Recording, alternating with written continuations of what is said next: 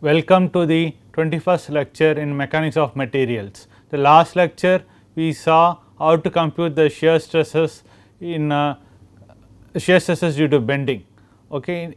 In particular we saw that the sigma xy shear stress could be computed from the expression Vy equal to uh, sigma xy equal to Vy into q divided by Izz into b okay, where q is nothing but the first moment about the uh, neutral axis okay. It is in particular given by y minus y naught into dA okay. So, that we can write q as ys where ys is the centroid of the section area up to which we are interested in finding the uh, shear stress and as is the area of the cross section up to the point where we are interested in finding the shear stress.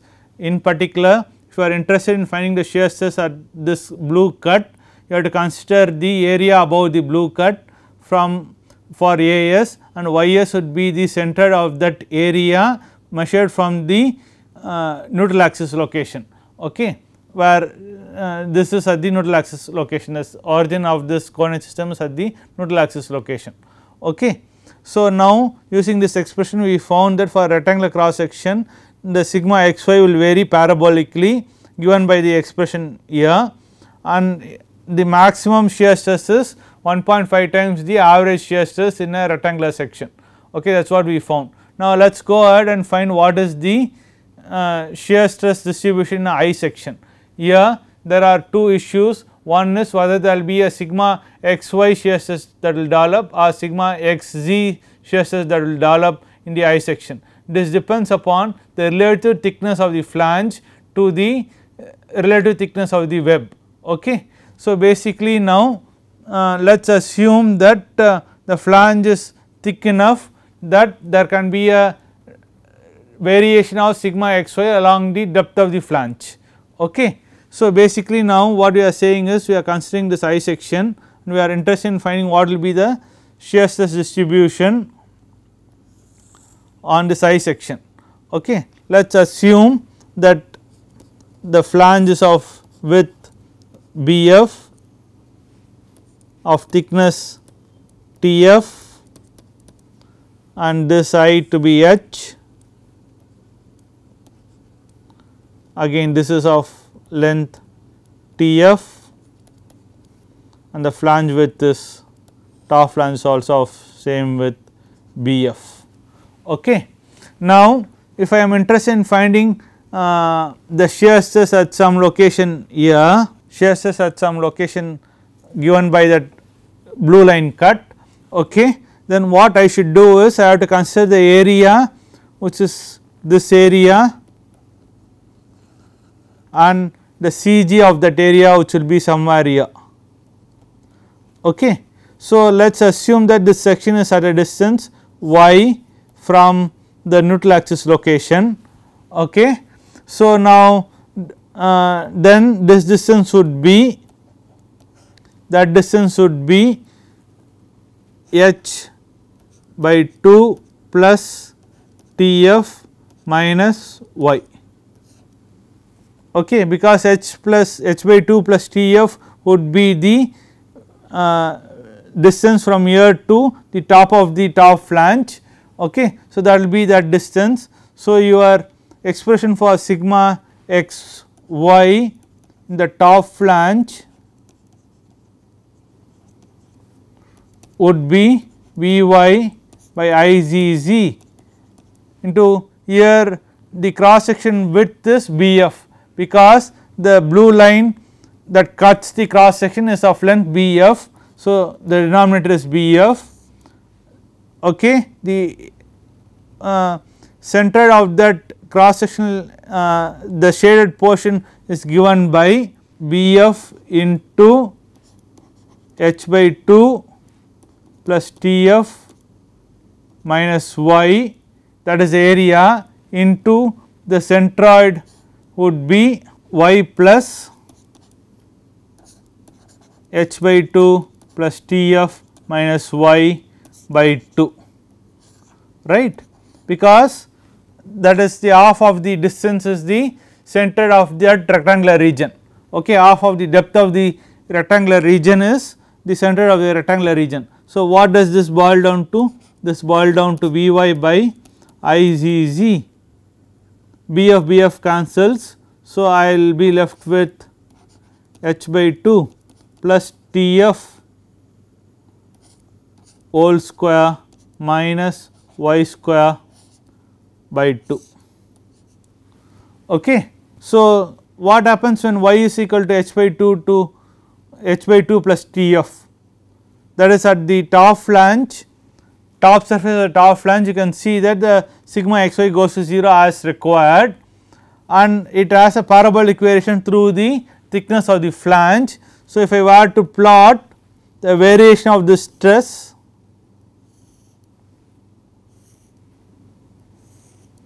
along the depth of the cross section it will vary from 0 here to some value here at the bottom flange uh, bottom surface of the top flange.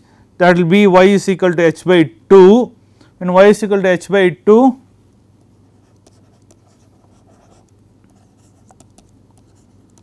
h by 2 sigma x y of the top flanges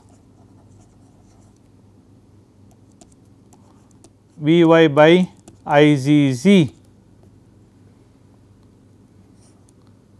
into h square by 4 plus T f square plus h into T f minus h square by 4 by 2.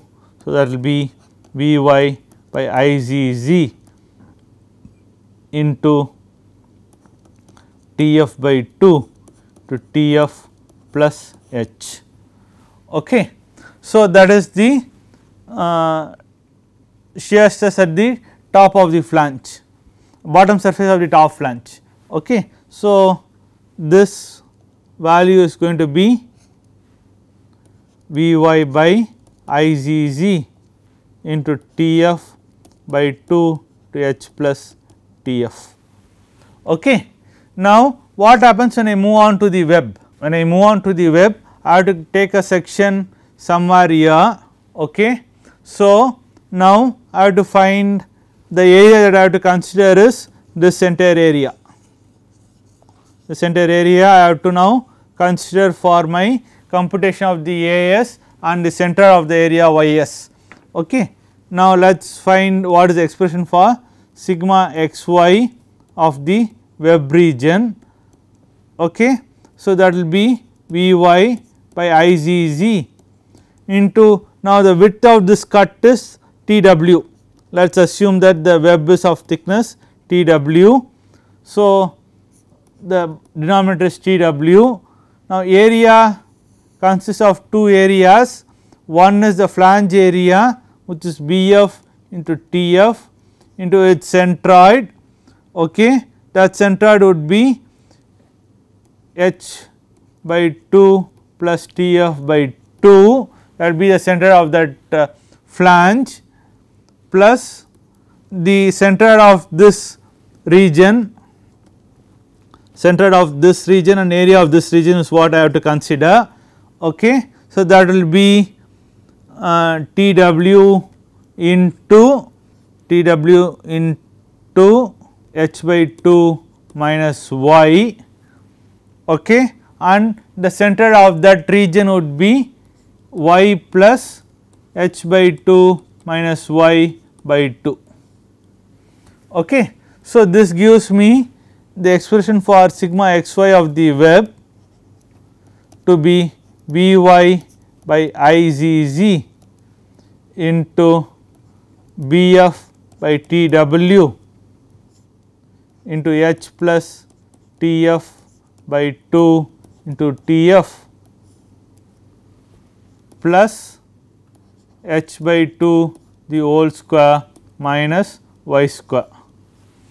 Okay. So, what happens when y is equal to h by 2?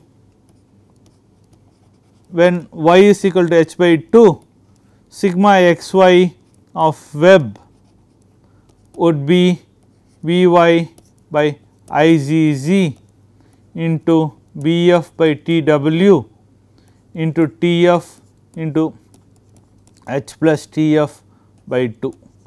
You find that this is nothing but B f by T w or sigma x y of top flange at the same interval same section point.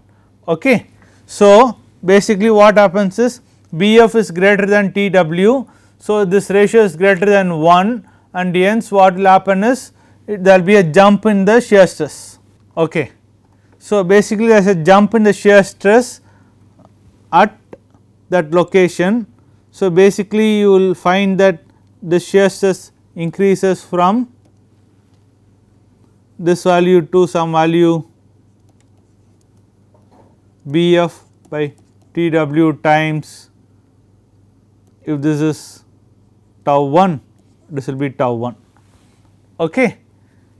Okay. Now where does the maximum shear stress occur in the web? Maximum shear stress occurs in the web at y equal to 0 that is at the neutral axis location. Okay? So basically what we find is sigma xy web maximum value of that would be at y equal to 0 that will be V y by I z z into B f by T w T f h plus T f by 2 plus h square by 4. Okay. So, that is the maximum value of the shear stress in the web. So, what happens is there is an additional term of h square by 4 okay, to whatever was contributing from the other flange web interface. Okay. So, this increases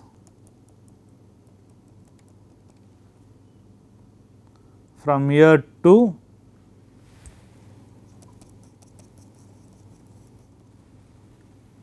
some value here that say that is tau 2. So, the variation is like this and you can see from symmetry will get it back like that and this is something there. You will see now I am drawing this bottom portion of it. This will be tau 1, this point would be B f by T w into tau. Okay. Now, go back to the web and find what is the sigma x y of web at y is equal to minus h by 2. You, will find that it will be same as this one was uh, it, it, it will be same as B f by T w into sigma x y of top flange.